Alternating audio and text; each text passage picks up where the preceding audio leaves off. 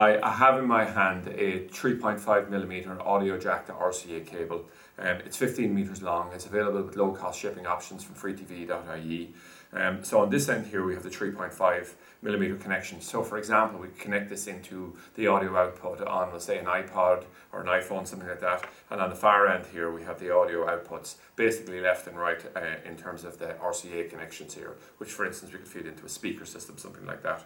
Um, it's part of a much wider range of um, uh, audio jack RCA cables we have extending from, we'll say, one meter all the way up to 15 or 20 meters. Um, we also have a very wide range of RCA cables themselves, all the rest of it, and they're all available uh, from freetv.ie.